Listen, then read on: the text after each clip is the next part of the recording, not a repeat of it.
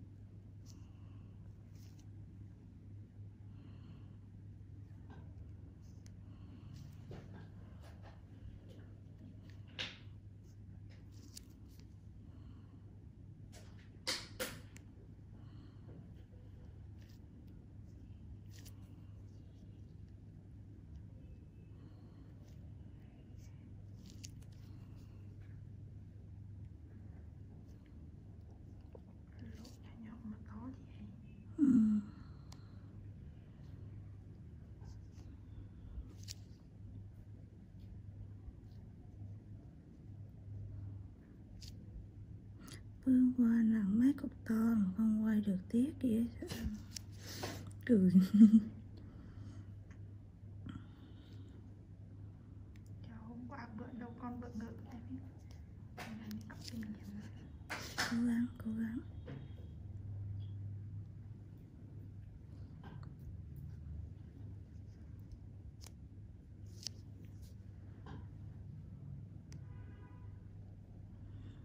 nha bình tĩnh nữa không có chi chân